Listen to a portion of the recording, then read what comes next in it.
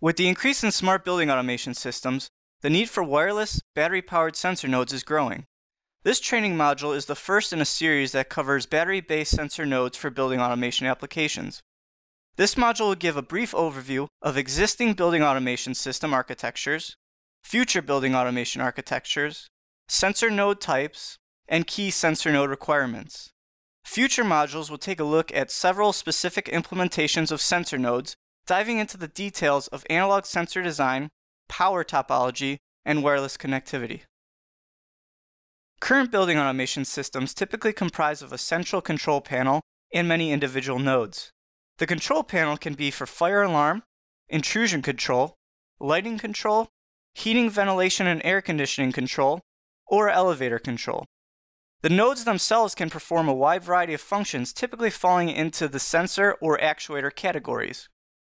For this training, we'll focus primarily on the sensor category.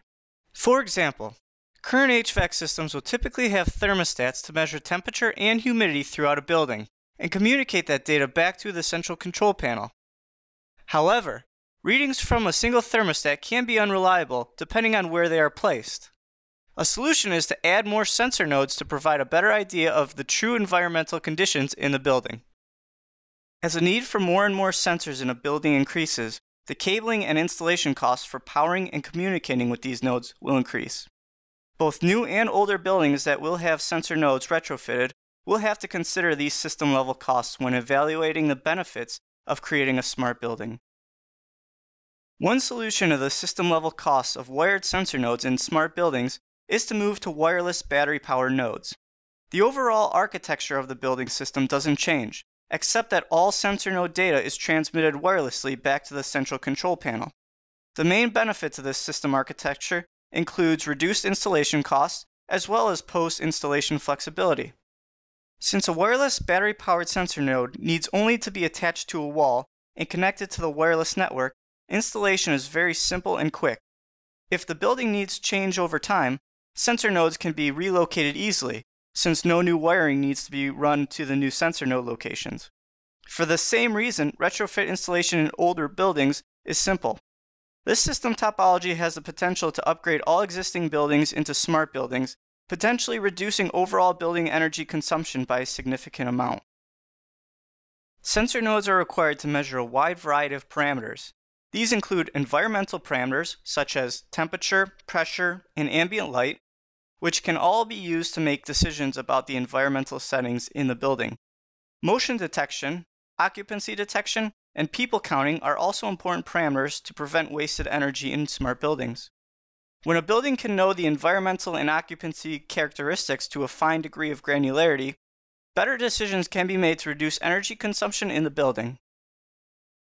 To achieve the goal of a truly smart building system, it is vital to have a broad set of sensor nodes available to provide all the necessary data back to the central control panel.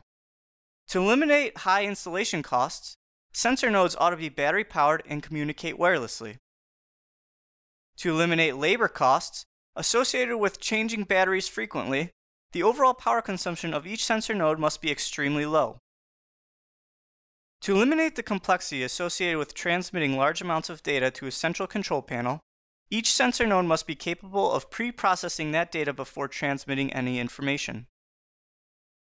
To achieve extremely long battery life, sensor nodes will typically have an operating profile as shown. There will be an on state where the sensor node measures some physical parameter, does some processing on that data, and then potentially transmits that information back to the central control panel, the off state is when one or more parts of the sensor node are in extremely low power standby or shutdown state. Some sensor nodes only need to measure the sense parameter intermittently, but some need to measure continuously to avoid missing an event. For example, temperature and humidity are parameters that don't typically change quickly, and thus can be measured only at preset intervals, while completely shutting off the sensing components during the off state. However, motion detectors, which are usually implemented with passive infrared technology, need to continuously sample since motion in a building won't necessarily occur at regular intervals.